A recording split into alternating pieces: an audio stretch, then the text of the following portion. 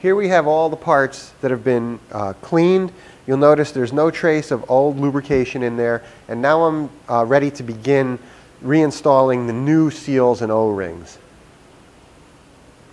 Once I have the shaft guide cleaned out, I'm ready to reinstall two new shaft seals that come with the service kit.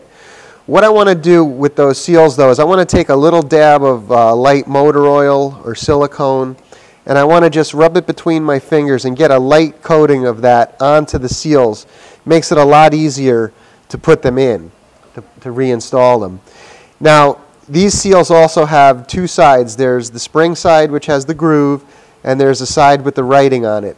I want to install these in facing in opposite direction, and the first one that I want to put in, I want to have the writing facing up. So I'm just going to slide it on an angle to press it in here and push it down.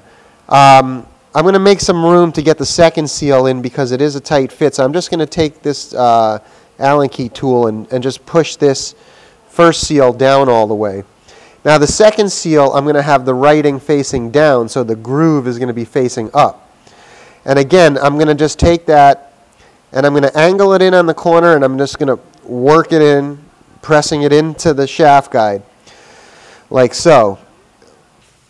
Okay, here I have my uh, pinion assembly and clutch assembly parts all cleaned and ready to go back together. So what I need to start with is to, um, to take my clutch housing and install the new O-ring around the ridge here. Once the O-ring is ready, I want to make sure that I have both of these pins still in the clutch housing. Now I'm going to take the clutch housing, turn it upside down, and I'm going to take my main seal. My main seal has two sides to it. It has a flat writing side, and on the opposite side it has a, a groove going around the center. I want to place this seal in the clutch housing so the groove is facing down and I can see the writing on the flat side as I put it in. I'm going to drop it down in there and then I'm going to take my uh, seal tool uh, I'm going to take the blunt end of the seal tool and I am going to press the seal into its raceway. I could feel it snap in and then I'll turn this around and I'll make sure that I see that that seal is all the way up, there are no gaps, and then I'm ready to put the clutch in.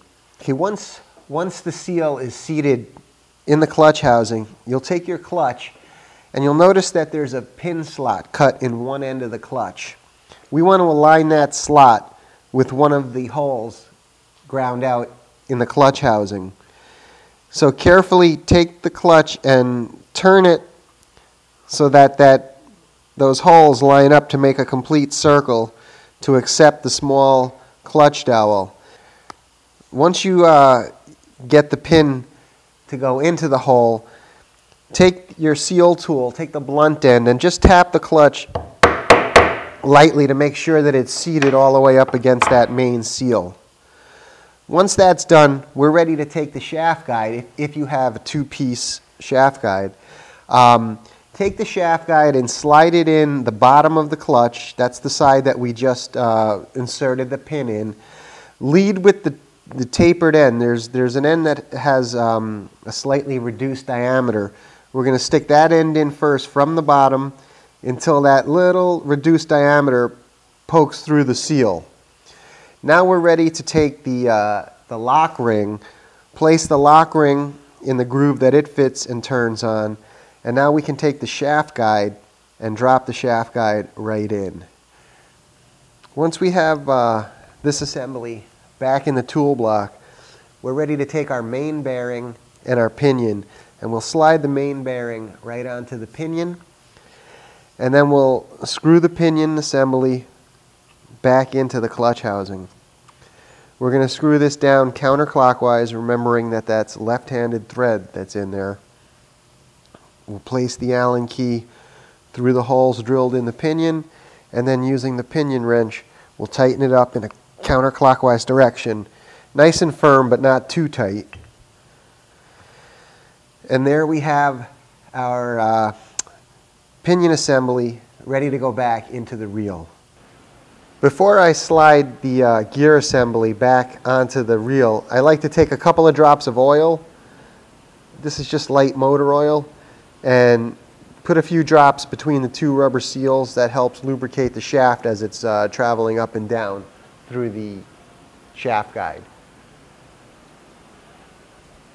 Okay, now that the pinion is um, reassembled, I'm ready to lubricate it and reinstall it in the body.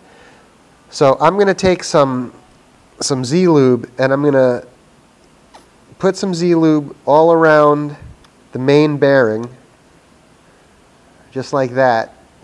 Get a good coating of it on there so that the main bearing is well lubricated. And then I'm going to take uh, my reel body and I'm going to reinstall a new O-ring that grabs onto the lock nut when we tighten the clutch assembly in place. I'm going to get that installed and get it right in the groove right at, down at the bottom. Now before I install the clutch housing back into the reel body, those two pins that we talked about that go into the clutch housing, you're going to see corresponding slots ground in the top of the reel body to accept and lock in with those pins. But before I slide that in, I want to take some, some grease and I want to just, just a little dab of grease and I want to kind of fill those cavities. That's going to help the pin slide in and it's also going to help to protect the O-ring as it slides past those grooves. So those grooves are cut at 12 o'clock and 6 o'clock as you hold the reel like this. So I'm going to try to line up my clutch housing in the same manner where I can see the pins are in that 12 and 6 o'clock position.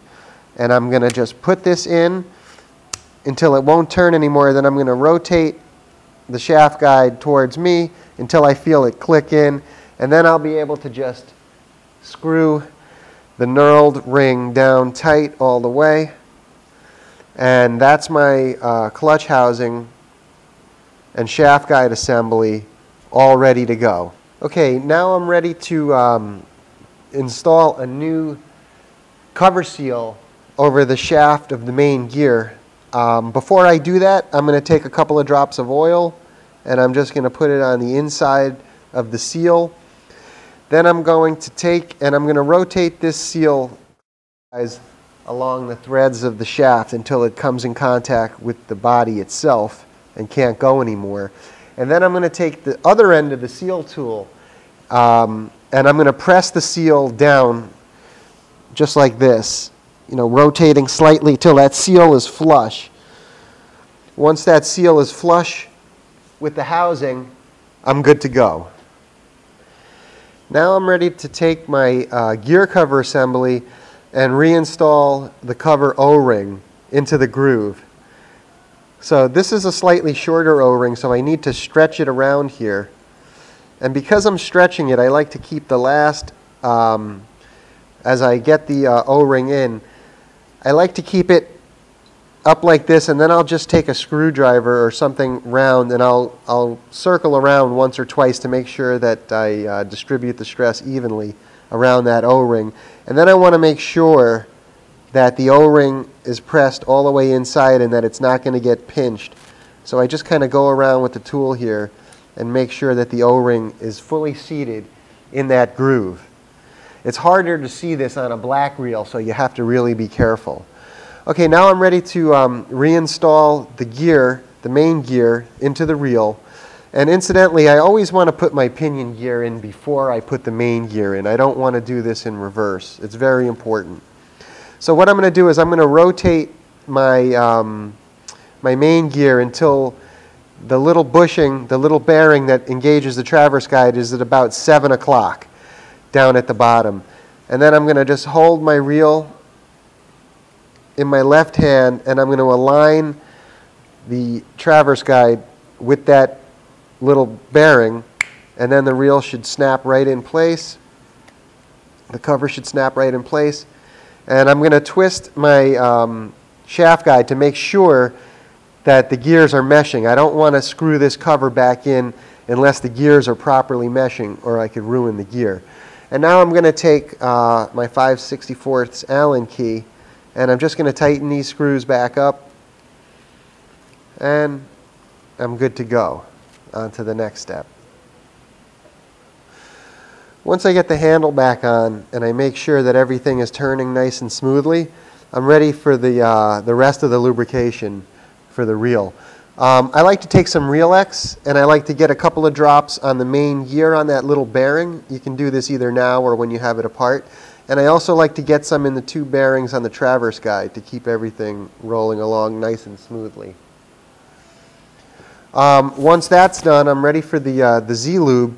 And what I want to do is um, fill this upper cavity here around the pinion, like so. And then I'll turn the reel again to get that, you know, onto the main gear, help smooth things out. And then I like to put a drop inside the, uh, the traverse guide, inside that little S-curve. And then I'll take some and put it along the two rails that the, uh, the bearings are rolling along. And again, once I have that done, I'm ready to put the, uh, the side cover back on now. But before I do that, I have to make sure that I install the O-ring on there. It's the same as the gear cover. I just want to slide this O-ring in place, make sure that it's, uh, it's not sticking out anywhere and that it won't get pinched. And then I could cover the reel back up. Just push the cover in place tighten the nut as tight as I could get it. And I'm good to go.